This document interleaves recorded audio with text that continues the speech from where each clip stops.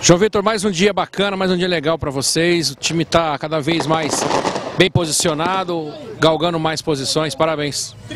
O dia de hoje foi muito gostoso. Acho que nos 13 anos que eu faço Fali dos Sertões, sem dúvida é a especial mais rápida. Uma especial que de média deu 108 km por hora. Tivemos velocidade média de quase 200.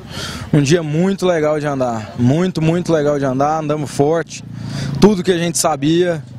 O carro não apresentou nenhum defeito. Hoje foi um dia realmente bacana. Como é que tá a máquina?